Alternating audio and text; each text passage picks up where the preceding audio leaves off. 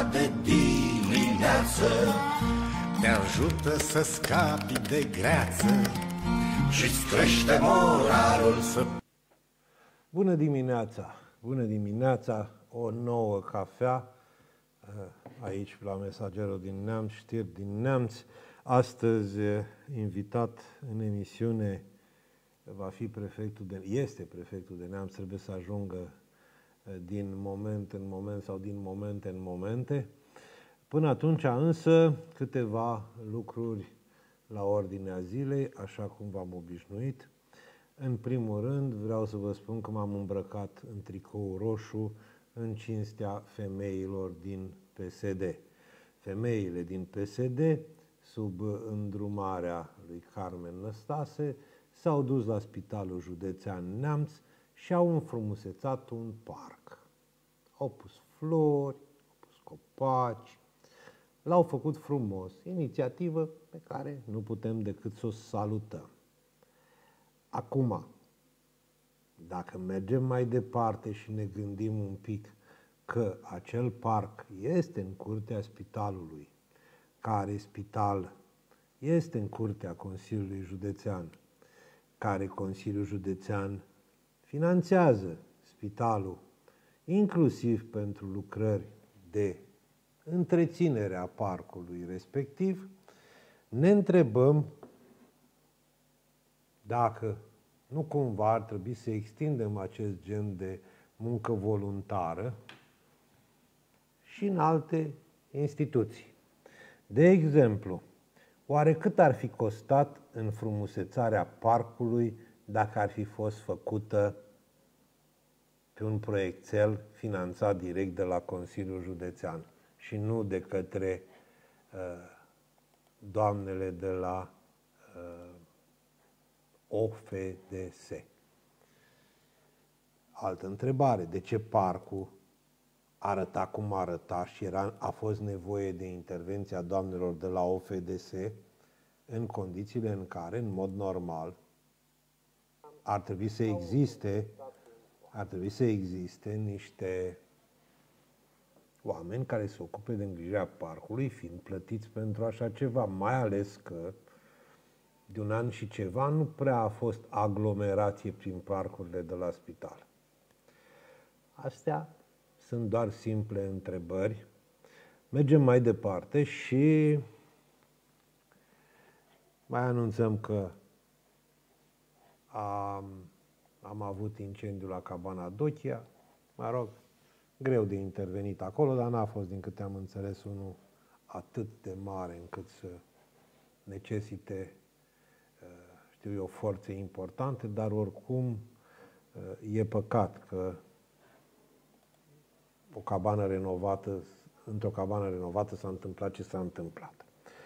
Ei, în minutele următoare, până vine domnul prefect Lazar și până ajunge domnul prefect Lazar, pentru că de intrat în piața centrală este foarte greu să intri, poate îl ajută domnul primar să facă circulația mai fluidă, vreau să vă vorbesc despre niște milițieni că polițiști, nu pot să le spun, că noi despre polițiști am scris foarte mult, am prezentat, cred că, zeci de portrete de polițiști care își fac treaba, colaborăm cu polițiștii care își fac treaba, dar astăzi vorbim despre niște, despre o grupă de milițieni, culmea băieți tineri și foarte bine orientați, care lucrează într-o zonă numită ordine publică la Târgu Neamț. Niște băieți extrem de bine orientați. Unul dintre ei nu pregetă să se laude în gura mare că el are protecție. Și nimeni nu se poate atinge de el, așa că își permite să-și facă agenda proprie de răzbunări. Băiet bun. Un altul, și el băiet bun, are listă. Dacă cineva îl supără, nu-i place ochii cuiva, îl urmărește până când îl prinde să-i dea o amendă. Acești eh, băieți buni și-au făcut un obicei în a acționa ori la ordin cine știe, dacă tot are protecție băiatul ăla, poate o face la ordin, ori din proprie inițiativă și atunci este o mare problemă pentru polițiști, nu pentru milițieni. Vom reveni pe subiectul ăsta pentru că lucrurile încep să o ia razna. Acum, problema este, ne mirăm sau nu ne mirăm? Ați văzut ce s-a întâmplat la București cu Academia de Poliție, prorectorul Academiei de Poliție și cu niște băieți pe acolo, da? au amenințat o jurnalistă pentru că a demascat fabrica de făcut doctorate. A arătat că se plagia, nu altceva, nu înseamnă că nu se muncea, se plagia. În momentul în care jurnalista respectivă a publicat, a devenit incomodă și atunci prorectorul Academiei de Poliție, Academia de Poliție, nu Academia Infractorilor, Academiei de Poliție l-a luat pe un băiet tânăr polițist și l-a pus să scrie mesaje de amenințare la adresa jurnalistei. Deci, omul care forma polițiști a înțeles să încalce legea și să amenințe pe cineva, punând pe cineva să amenințe. O să spuneți, da, dar uite că au fost pedepsiți. Da, au fost pedepsiți. Cum au fost pedepsiți băieții ăștia? Au primit trei ani cu suspendare în prima instanță. Vă dați seama că pedeapsa e foarte mare și interzicerea, interzicerea uh, meseriei. Nu mai au voie să profeseze. Ei fiind niște vașnici, tovarăși aflați la anii pensionării, cum se întâmplă în domeniul ăsta, la vârstă fragedă. Poți să-l numești polițist pe ăsta? Nu poți să-l numești polițist. Poți să-l numești milițian, dar nici milițian nu poți să-l numești. Poți să-i numești polițiști pe băieții, băieții aceia de la Târgu Neamț care își fac uh, agenda proprie în poliție și umblă și dau amenzi cum vor ei, nu poți să-i numești polițiști. Poți să-i numești milițieni, îi numești milițieni doar în sensul peiorativ al lucrurilor. Dar vom reveni asupra acestui subiect pentru că lucrurile acolo au cam scăpat de sub control. Sub control este relația deocamdată cu prefectura județului Neamț, care, iată, prin reprezentantul ei, domnul George Lazar, a ajuns în această emisiune. Bună dimineața! Bună dimineața, nu Vali! Mă bucur că vă revăd atât de vivace de dimineață. Mulțumesc, Domnul prefect, aveți echipă completă, de acum gata, se, se sfarmă munții, se rupe toată administrația județeană. Deci, gata, aveți și secretar, cum se cheamă? General al Secretar general al prefecturii. Ați echilibrat balanța, nu numai Consiliul Județean are secretar general, aveți și dumneavoastră. Avem și noi, da. da, da. Acum, gata, nu mai etajele sunt echilibrate din Sunt echilibrat, dar la, la, mai sus e etajul cu bani, nu e etajul fără bani. Am înțeles. Din punct de vedere bugetar. A, din punct de vedere bugetar, că nu știam din ce punct de vedere. Din toate puncte de vedere, până la urmă. Uh, da, avem secretar general. Asta e o veste bună pe care am primit-o și noi în cursul zilei de ieri de la Ministerul Afacerilor Interne și la Guvernul României. Uh, după cum bine știți, la începutul 2021, cred că undeva februarie, poate chiar martie, legislația s-a schimbat. În sensul că au apărut uh, funcționarii publici cu rang de secretar general în uh, prefectură, care au ca rol să contrasemneze tot ce înseamnă de legalitate, uh, actele care din prefectură, ori respectiv ordinele prefectului, să uh, certifice tot ceea ce înseamnă, scuzați, să certifice tot ceea ce înseamnă partea de legalitate și mai departe, ce e important, devine și secretarul de drept al Comisiei Județene de Aplicare a Legilor Fondului Funciar, comisie care, din nefericire, până s-au transformat posturile, până s-au luat avizele la ANFP, Agenția Națională a Funcționarilor Publici, s-au încheiat toate demersurile de legalitate, ea că a durat două luni, două luni și un pic până am avut secretar general și atunci comisiile, Comisia Județeană de Fond Funciar a fost blocată, lucru care s-a întâmplat de altfel la nivel de țară, nu doar în județul Neamț. Partea bună a lucrurilor este că ne-am mișcat repede în sensul de a obține avize și a depune toate diligențele pentru obținerea actelor necesare ocupării acestui post și suntem uh, în primele șase prefecturi din țară care, prin hotărâre de guvern, publicată în monitor oficial, avem secretar general, ceea ce înseamnă că uh, în perioada imediat următoare vom intra masiv și cu celeritate să deblocăm tot ce avem pe fond funciar, să intrăm în ședințe și să rezolvăm problemele uh, cetățenilor. Deci vom avea și fond funciar, asta înseamnă Obligatoriu. Că, mai avem la fond funciar încă probleme? Mai sunt, mai sunt rectificări de proprietate, mai sunt documente depuse de foarte, mulți, foarte multe primării, de cetățeni, mai e treabă. Nu e închis fondul funciar la nivelul județului. Ne-am mai și București a fost închis, dar uh, nu e închis, mai e de treabă, mai sunt lucruri de soluționat, sunt oameni care așteaptă și la rândul lor de ani de zile, mai sunt lucruri de rezolvat. Asta este bine. Uh, să știți că astăzi am venit în tricou roșu, Apreciez. Culoare frumoasă. Vă spus la începutul emisiunii, pentru, în cinstea organizației de femei a PSD, care s-a dus și a, reno, a refăcut fața curții spitalului. Au pus niște flori, au plantat pomi și am zis că merită acest lucru, merită acest lucru subliniat pentru că uh, au făcut un lucru bun. Eu mă întrebam altfel. Uh, curtea spitalului trebuia să vină voluntari să pună pomi și să pună flori? Sau aceasta este o activitate care ar trebui să intre în atribuțiile cuiva? Nu știu, nu-mi dau seama. Dacă vreți asta, eu să... Știu că sunteți rupt de chestia asta cu spitalul, nu aveți treabă, dar am, eu am vrut să vă explic de ce n-am venit, de ce n-am venit în uh, cămașă. Și... Avem o parte ONG-uri, societate civilă și pe de altă parte, sigur, uh, reprezentanți câteodată și ai partidelor politice care încearcă să îndrepte niște lucruri care nu merg.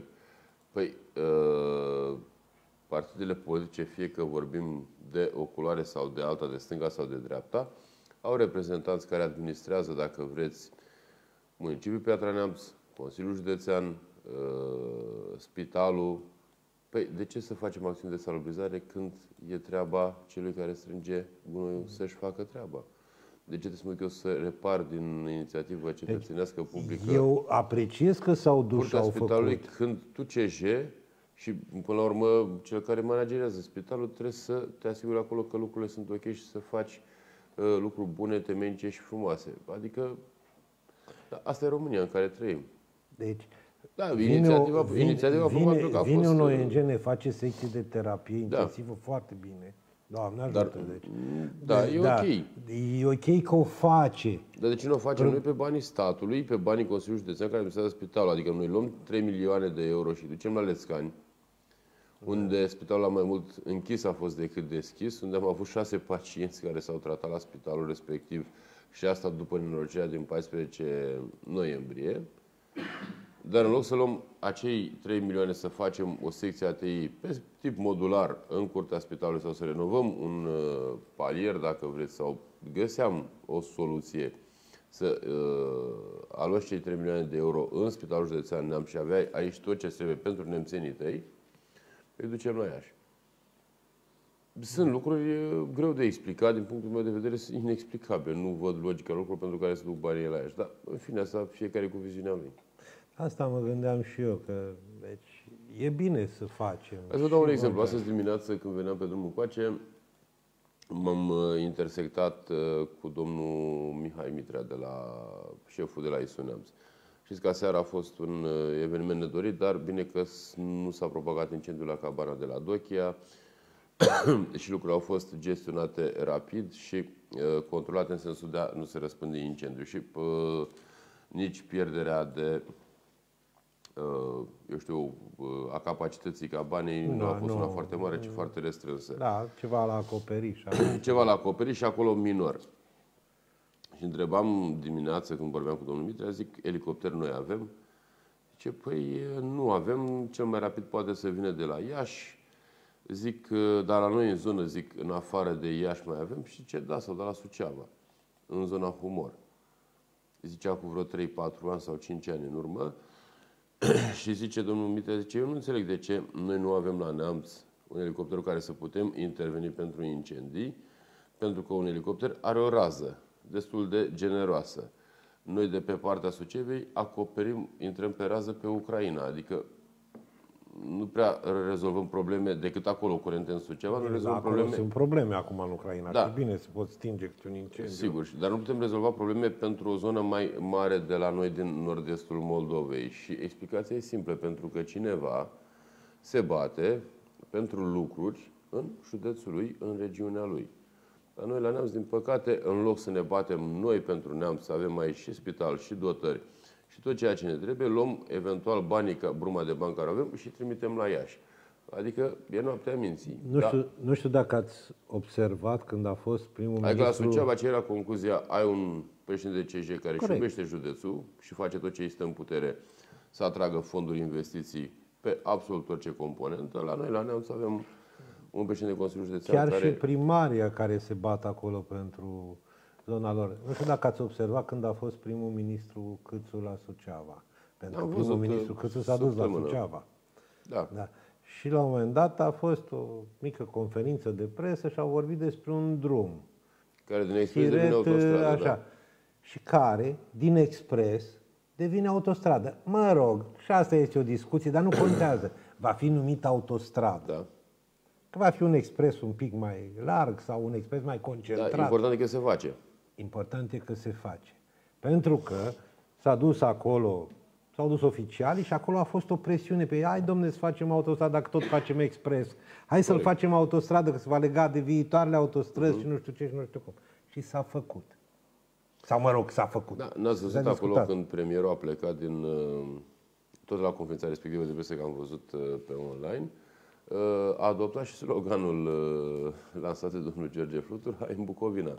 Hai în Bucovina. Oamenii știu să-și promoveze și iubesc ținutul și iubesc locurile, se bat pentru ele să aducă proiecte, finanțări, bani și își promovează foarte bine locurile. Noi în Neamț, din păcate, uh, nu avem astfel de lider sau de lideri la acest moment care să conteze și sus la București și să poată să facă lucruri și care să-și iubească și să-și susțină județul. Da, din păcate. Din păcate. Din păcate, asta e părerea mea. Și consider că am o părere corectă și îndreptățită. Domnul prefect, ce se mai întâmplă în județul ăsta? Cu ce?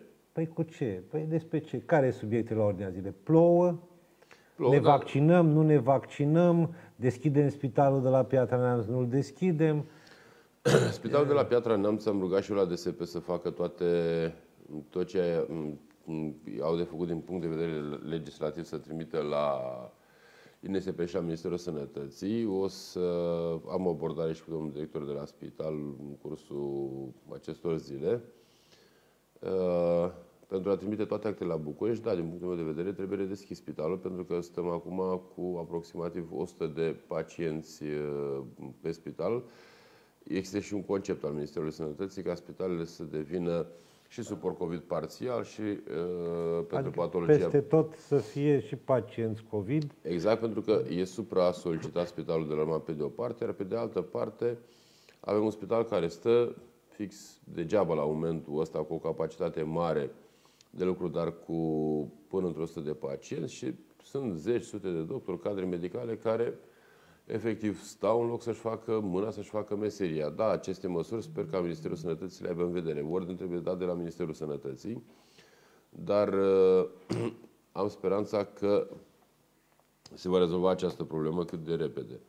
Uh, Pe partea de vaccinare e o întrebare foarte bună din partea dumneavoastră. Mulțumesc. Am făcut și eu un lucru bun în dimineața. Stăm, uh, stăm, uh, stăm cum stăm noi în nord-est, cum stăm Moldova, nici prea bine, nici prea rău. Avem capacitate de vaccinare de 2500 de doze și 3000 pe zi dacă e nevoie. Acționăm zilnic cu aproximativ 5 echipe mobile în fiecare zi, uh, echipe mobile care pleacă din urban spre rural și avem campanii de vaccinare pe zile, pe comune, uh, care are rentabilitate tot la mijloc, așa și așa. Adică avem și unde am vaccinat 400 de persoane într-o zi, și unde am vaccinat 200, 100 și ceva și e un rezultat bun. Avem și unde am vaccinat, din păcate, 26-30 de persoane pe zi cu echipă mobilă. Adică mergi cu echipă mobilă, e un efort și logistic, și uman, și financiar. ca să ajungi într-o comună în care să găsești că vaccinezi doar 30 de persoane, pentru că, nu să dau nume, primarul sau doamna primar de acolo nu se implică, nu vor, sunt antivacciniști ei la rândul lor și în loc să dea o mână de ajutor strict instituțional, haideți, domnule, să măcar, nu trebuie să-i obligi pe, nu, nu obligi omul, măcar să îl informezi că în ziua de la ora de Vine, Acolo vine o echipă mobilă. Domnule, vrei să te vaccinezi, vii și matale acolo? Nu vrei, nu vii. Asta e, nu-i uh, cu forța. Dar nici măcar asta nu o fac. Și mm, dezvoltă și curentul uh, contra. antivaccinist, da. Uh, avem 19 centre cu 23 de fluxuri în total și acoperim tot județul. Avem două drive-thru, Roman și Piatra Neamț, care uh, în prima săptămână s-au vaccinat 700 și ceva de persoane în ambele centre, un rezultat mm, destul de bun. 400 și ceva. În al doilea weekend în scădere, da. Sper uh, că acum, dacă nu ploua afară în weekendul ăsta, sper să avem tot în jur de 700-800 de persoane care se vaccinează. Suntem pe o rată de aproximativ 1000-1000 și pe zi de persoane vaccinate. Ne dorim, am avut o perioadă în care am ajuns la 2000. Suntem în perioadă în care uh, stagnăm, așa să zic, în zona asta de 1000-1100. Avem 8, uh, 90 aproximativ de doctori de familie care s-au înscris în contract cu casa și cu DSP pentru a lua dozele de vaccin, vaccin Johnson Johnson și vaccinează prin, vaccinăm prin intermediul lor a doctorilor de familie. O singură doză, important. O singură doză de Johnson Johnson. Nu este și important să știe și doctorii de, ei știu doctorii de familie și populația, nu e obligatoriu ca doctorul de familie să vaccineze cu Johnson Johnson. Poate să ia la cerere ce dorește. Johnson Johnson, Pfizer, Moderna sau... Bine, dar cum păstrează Pfizer-ul și Moderna? Se păstrează 30 de zile în frigider la rece. Ah, deci în da. frigider la rece, da? da? Fără niciun fel de problemă, da. Suntem în discuții, că am avut și o videoconferință lung cu premierul României, am avut o discuție și cu Consiliul de Conducere a Consiliului Județean. Suntem într-un concept în care gândim să dezvoltăm un centru de trip, uh, un centru mobil de vaccinare în zona Târgu Neamț, în zona cetății, cu uh, sprijinul și cu logistica și a Consiliului Județean Neamț și la fel la baza părtiei uh, de la Durău, adică pe obiective turistice care atrag la noi și turiști, da, și oameni din județul Neamț, să intrăm și acolo pe cele două puncte să vaccinăm. Spuneți-mi un pic, acum la modul foarte serios. Ehm, da, uitați comentariul. Nu e suficient să facilităm vaccinarea, se impune o strategie inteligentă de informare, educare și conștientizare mai agresivă. Și asta probabil și la nivel național, nu numai. Sunt, o, sunt foarte multe surse de informare. În primul rând, trebuie să apelezi la surse instituționale de a te informa, nu de pe Facebook, nu de pe tot felul de de la tot felul de oameni care nu au nicio cultură medicală și sunt, nu sunt profesioniști pe zona respectivă. Doctori de familie, doctori, instituții publice, abilitate, de acolo te poți informa. Eu vă spun cu subiect și predicat și fac uh, o campanie în continuare uh, și prin intermediul dumneavoastră și a emisiunii. Nu degeaba, începând din Statele Unite ale Americii și Israel, două dintre cele mai puternice țări din lume, care își uh, iubesc populația și țin la oamenilor și au vaccinat în masă populația începând cu armata. Începând cu armata. Adică nu cred că cineva vrea să ne omoare. Cu conceptul ăsta nu pot fi de acord. Domnul prefect, acum știți cum e. Noi suntem un județ extrem de bogat, ne lăudăm cu asta, uh, cu zona aceasta turismului monahal. Corect. Eu nu știu dacă au avut loc discuții sau nu. Între da. noi, autorități și uh, preoții uh, importanți Stareți. ai mănăstirilor din județul Neamț, cu Arhiepiscopia Română și pe acolo, da, au fost discuții, am purtat de, personal discuții. De exemplu, un centru de vaccinare la intrarea într-o mănăstire, cum e mănăstirea Neamț. Da, eu nu sunt de acord cu așa ceva. Asta e o idee care am auzit curentul ăsta, e un curent serist, din punctul meu de, de vedere dacă biserica de acolo o dacă face vor, fără acceptul lor. Cu, nu, cu acceptul lor. Dacă e cu accept, atunci e altceva. Deci Dar eu n-am ca vorbit să- de fără accept, să le pună în fața bisericii Exact. centru de vaccin. Nu, Exact, cu acceptul lor, pentru că ei, de exemplu, la Neam sau acolo, dacă știți, Știu clădirea foarte bine aceea unde rotundă se în care se vinde vin, se vând alte chestii sfinte, și da. acolo s-ar putea, lucruri sfinte, vinde împărtășanie fără spovedanie sau de spovedanie fără, nu mai știu exact Depinde. cum e. Uh, Și acolo s-ar putea amenaja foarte ușor un loc în care să faci vaccinare cu acceptul lor. Venim noi cu cortul, cu logistică, cu tot. Cu acceptul lor. Este A într- existat vreo asemenea discuție? Nu pentru că am simțit o zonă de, hai să-i spun cât de cât reticență din partea unora sau altora dintre, nu să dau nume, dintre stares, dintre liderii uh, din zona uh, și a mănăstirilor și a episcopii, arhiepiscopii Romului și Bacăului. Și atunci nu am vrut nici noi să presăm sau să insistăm. Am avut o discuție exploratorie de bun simț, am luat pulsul, am văzut care-i uh, gândirea lor, care e filozofia lor despre vaccin și despre vaccinare. Și atunci nu poți să insisti la cineva care îți spune, domnule, eu mai aștept, mă mai gândesc să văd, uh, nu sunt împotrivă, dar nu mă bag. Dar pe de altă parte înțeleg că în tot felul de manifestări uh, se spune despre uh, sau se duce o campanie, să zic, de antivaccinare, nu poți să mergi la om să ai o abordare a doua oară, să te faci când ai înțeles și ți-ai explicat prima dată. Din prisma asta, eu ne confruntăm și noi și, și Suceava și Bacău, Vaslui Botoșani, în zona asta, Iașu, uh, cu o zonă în care suntem perifer, într-un clasament periferic la ceea ce înseamnă vaccinare, pentru că nu poți să îl rogi pe un primar să scoată lumea la vaccinare atâta timp cât el este antivaccin și nu s-a vaccinat el. Nu poți să rogi un preot stare, cum a spus dumneavoastră, să uh, îndemne lumea spre vaccinare atâta timp cât el nu crede în vaccin și din contră are o impresie, poate unii dintre ei, împotriva vaccinului. Aici suntem. Acum, eu aș aștepta să văd și o instituție publică, gen primărie, prefectură, Consiliul Județean, alte instituții publice care să spună așa, victorios, în instituția noastră avem 80% din personal vaccinat. În urma unei munci de convingere pe care am dus-o și am făcut-o. Munca de convingere nu poate să însemne obligație. Eu vă spun, de Nu, nu, exemplu, nu la- obligație, muncă de La noi, convingere. la prefectură, cred că avem uh, undeva la 30-35% din persoane vaccinate. Nu e mult, Decât 35%. da. Suntem în media județului. Mm, Pe acolo, pe undeva, acolo. cred că. Ca să zic, Aici este, cred că, marea sunt problemă. cetățeni care nu vor, au altă filozofie, altă gândire. Nu poți să obligi omul.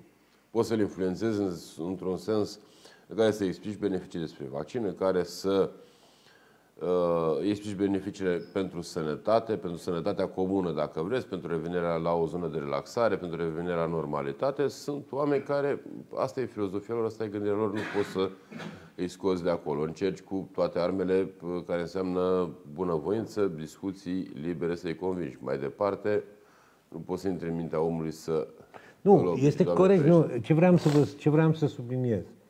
Dar că... oamenii ăia care nu se vaccinează, uh, și stau și eu de vorbă cu cu persoane sau chiar prieteni, Da. cunoștințe care nu se vaccinează, dar încă în, uh, în străinătate vor să se ducă, la mare vor să se ducă, la munte vor să se ducă, de așteaptă să meargă la o petrecere, la o nuntă, la un botez, deci vor tot. Deci vor viața normală dinainte, o vor cu toată forța lor, de o așteaptă. Dar nu se vaccinează. E și o contradicție aici. Da, Da, într-adevăr. E, e ceva care nu, nu funcționează și probabil că totul pleacă, cum, spunea, cum se spune la noi, de sus, adică la nivel de informare Eh, și la nivel de eh, găsit oameni care să convingă, care să aibă credibilitatea și să convingă. Eu sunt convins că dacă, de exemplu, eh, aveam eh, într-o emisiune televizată un patriarh, de exemplu, care ar da un exemplu personal, un știu eu, medic extrem de cunoscut, Da, ar actor ajuta. extrem de cunoscut, Ar ajuta în mod clar. un vlogger extrem de cunoscut sau alte lucruri de genul acesta într-o strategie coerentă națională. Pentru că la câți bani s-au cheltuit pe e, campaniile astea, e, lucrurile au luat o razna. E, Adică dacă faci raportul cheltuială realizare, singurul lucru care ne putem reali- lăuda este că avem uh, multe persoane vaccinate complet, adică raportat la numărul de vaccin. Da, bun, acum când cheltui pentru sănătatea publică, nici nu știu dacă Eu nu trebuie vorbesc de făcut o- cheltuiala de sănătate publică, eu vorbesc de cheltuiala pentru informare, care a fost enormă A, banii și de s-a asta făcut presă. și s-a făcut aiurea. Adică tu dai cei mai mulți bani pentru uh, a informa publicul pro-vaccinare la televiziuni care după ce dau mesajul mergeți la vaccinare au o emisiune de o oră cu antivacciniști. Da. Adică să-mi fie cu iertare.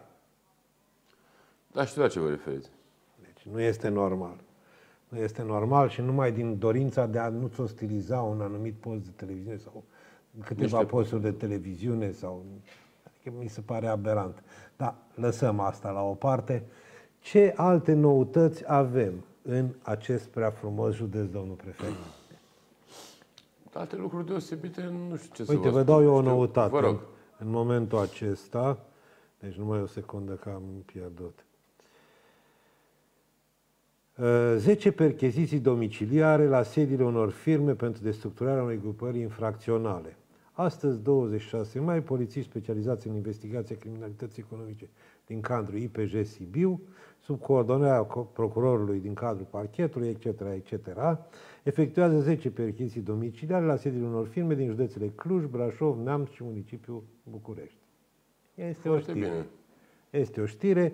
Ce e Înseamnă interesant... că e acțiunea Sibiului. O, Da. Operațiuni financiare în mod fraudulos, fals în declarații, înțelepciune, fals și uz de fals. E vorba despre preluarea frauduloasă de la titularii unor societăți comerciale a părților sociale și se căutau societăți care aveau uh, capital important spre 10 milioane de euro. Interesant. Asta este o noutate acum, am primit... uh, Foarte interesant. Deci chiar e interesant, om trăi și om vedea despre ce este vorba. Da, în rest, lucruri deosebite nu cred că se întâmplă la acest moment. Așteptăm măsurile de... Pachetul de măsuri să vedem cum va fi formulat pentru 1 iunie. E un nou pachet de măsuri de laxare care va intra în Ah, Chiar vreau vigoare. să vă întreb. Spuneți-mi și mie, că eu nu înțeleg. Vă rog. E voie să faci târguri în perioada asta? Nu. Pe legea actuală, nu. Nu. Astăzi, la momentul la care vorbim, nu. Când or să vină pachetul nou cu alte măsuri de relaxare, probabil că da. Astăzi, la momentul la care discutăm, pe legea 55 și actualizată, nu. Nu. Nu. Și în județul Neamț. Nicăieri. În țară. În județul Neamț n-ai voie. Târguri, oboare, de astea n-ai voie. Și dacă se fac, E treaba poliției să meargă, că răspunde IPJ-ul prin uh, MAI, prin IPJ, să meargă să... sâmbătă, la ora În Piatra 8 Neamț, și cred că jumătate, nu? nu, e, eu nu îndrăznesc în Piatra Neamț, că Piatra Neamț este tabu, eu nu îndrăznesc Așa. în Piatra Neamț. La Roznov, Da. Era așa zisul târg de Roznov, obor de Roznov. Omor de oameni. Da, n-avea voie. Uite, bine că mi-a spus, poliția Omor trebuia să-și facă de treaba. oameni. Deci poliția trebuie să-și facă Pe treaba. nu jos, e voie. pe iarbă, pe, pe unde se putea. Fiecare vindea ce putea. Era un echipaj de poliție când mergeai spre Tazlou încolo, Da. da. spre Bor, Borlești, da, la Ruseni, dacă nu mă înșel, care mai oprea câteva dube. Dar nu era nimeni în zona târgului. Eu întreb, se poate? Nu? Deci legal nu Poți să faci uh, lucruri de promovare, nu le spui târg. De exemplu, iei o ladă cu zestre și o pui în mijlocul orașului. Nu e târg, a fost o acțiune foarte frumoasă, sincer, cu meșteri buni, cu toți. Problema este dacă e târg. Păi bal să fie, să știm toți.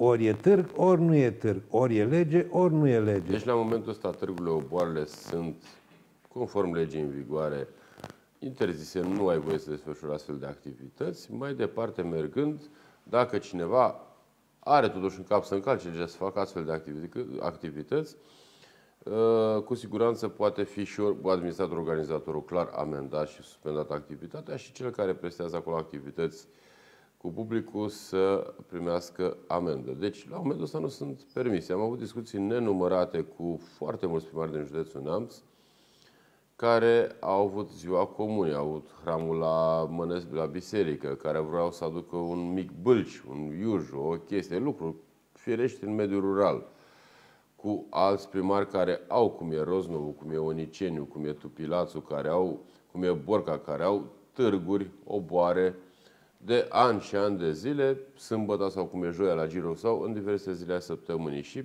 discuția cu domnii primari a fost una corectă, în care în mod clar ei vreau să facă târgu, că e pentru oameni, în primul rând, să poată să-și vândă acolo lucrurile, să facă un ban, dar nu e voie la acest moment.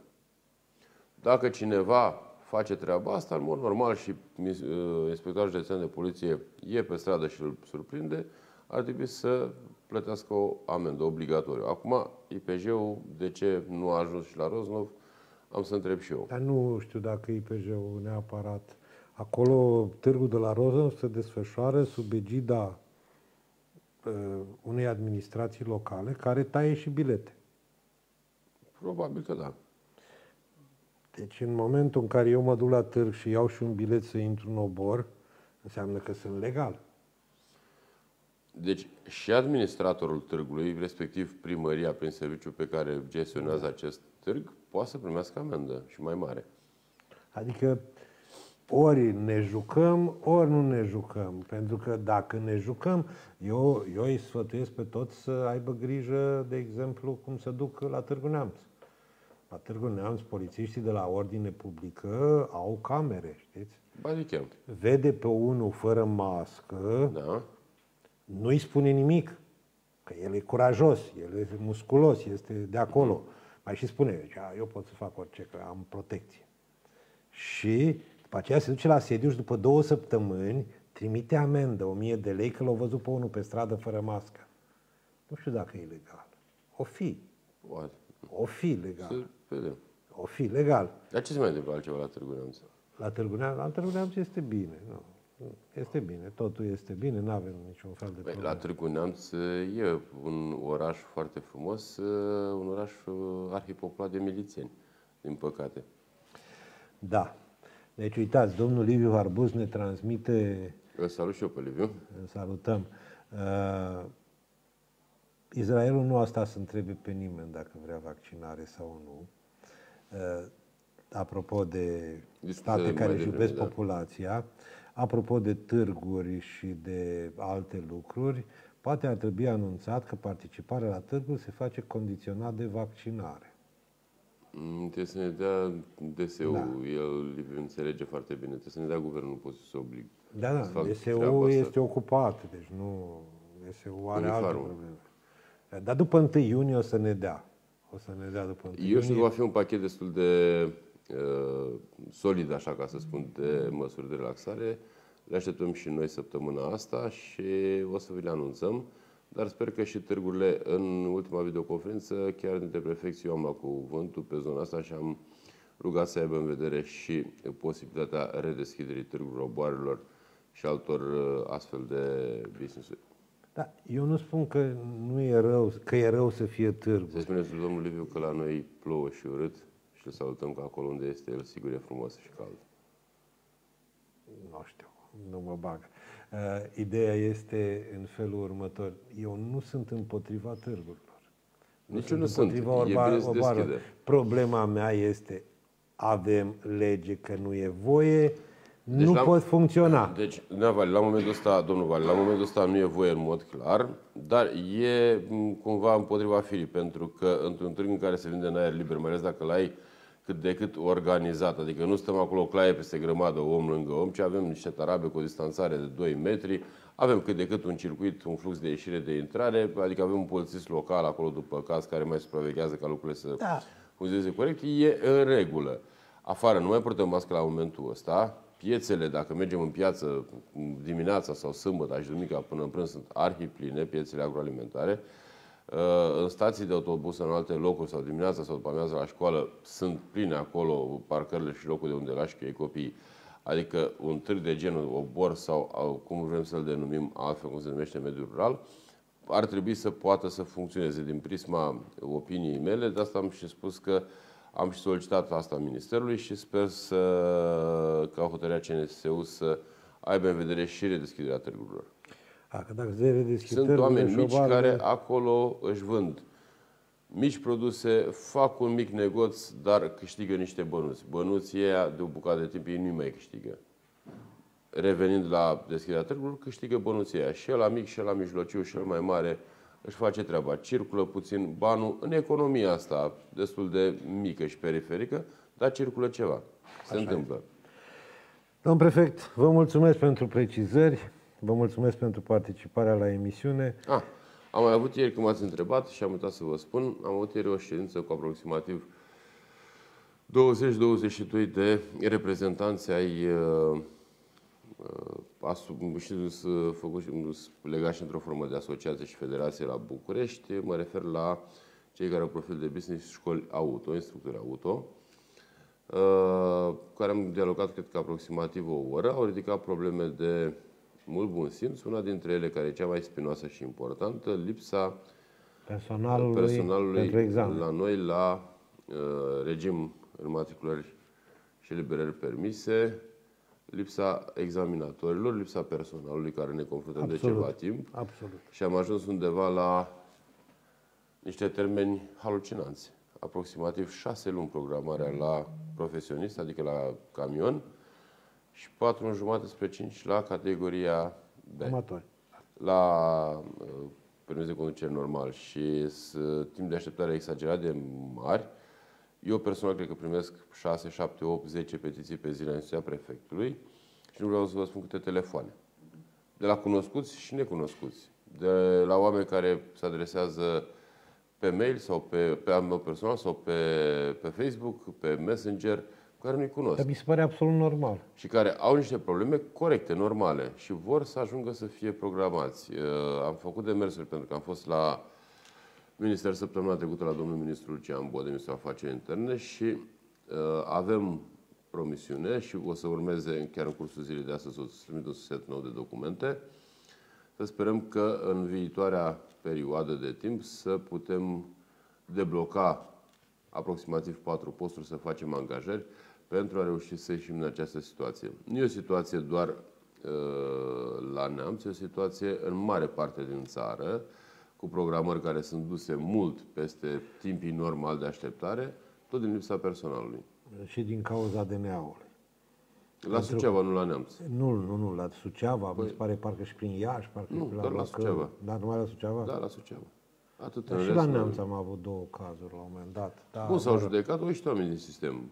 S-au judecat, sau au rămas definitive și revocabile. Am înțeles. Nu, adevărul este că e o problemă. Vorbeam e o problemă și cu, spinoasă. Vorbeam și cu subprefectul care se ocupă de zona asta da. și îmi spunea și el același lucru.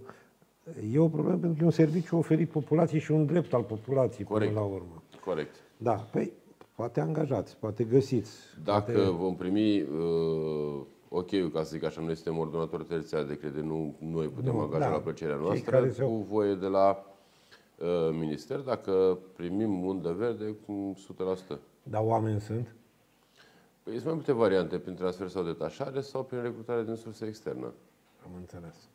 Deci, mulțumesc pentru participarea la emisiune. Vă din, dorim... Uh, noi putem lua doar din cadrul MAI-ului, din uh, IPJ, IJJ, ISU, de obicei cam din IPJ se vine spre zona asta. A oameni care lucrează cu publicul da, pe circulație. Sau, uh, sau nu neapărat care lucrează în circulație, pentru că, să știți, agentul constator în stradă de circulație, că e ofițer sau e agent, uh, Uh, menirea lui, educația lui, să zic, în uh, perspectiva jobului, este aceea de a vă surprinde când greșiți. În cadrul... Uh, nu e nicio noutate.